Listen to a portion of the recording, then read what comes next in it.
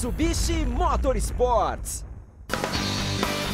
As montanhas de Itaipava, na divisa entre Rio e Minas, servem de horizonte para as duplas da sexta etapa do Mitsubishi Motorsports. Um dia em que a preferência por pisos secos ou molhados vira assunto. Essa noite São Pedro foi jogando água devagarzinho, o que vai criar uma emoção grande, porque vai ficar liso o chão, mas é bom que vai ficar um pouco mais difícil e mais emocionante. A chuva dá trabalho é para os navegadores. Quanto mais marcações, melhor. A prova foi, foi medida no seco, então agora com esse tempinho aí de chuva, com certeza vamos ter que fazer uns calinhos aí no dedo para poder ajustar o odômetro. Amarelo para atenção. Só marco isso, o resto a gente vai pela sorte. Direita, esquerda, parece fácil, né? Se não põe a letrinha, já fala assim, é pro seu lado ou é pro meu lado. Agora eu já tô até mudando também o esqueminha. Tô colocando o E e o D aqui na mão pra não ter erro, né?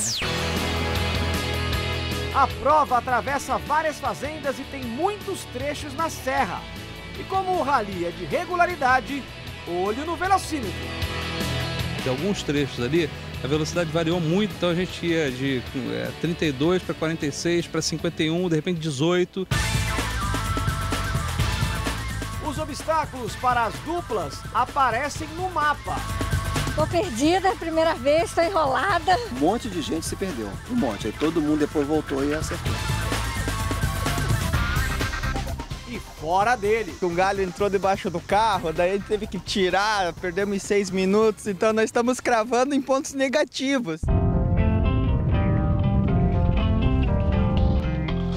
Mas pode acreditar, até o balanço do banco traseiro é fonte de diversão. Quando ela diz assim, ó o buraco, eu já fico com a cabeça lá em cima. Mas é bom, faz parte, né, da, da, da aventura, né? O pódio da categoria graduados leva Fefe Gomes e Breno Rezende para o primeiro lugar. Turismo, Carlos Vaz e Ricardo Neto na frente. Eu tenho muito a agradecer ao meu navegador, que hoje teve um trabalho realmente, acho que mais de 50% da prova hoje é do navegador.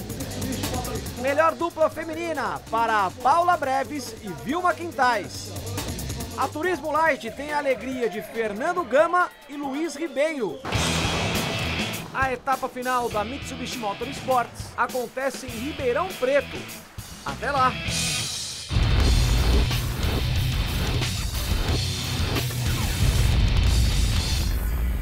Mitsubishi Motorsports.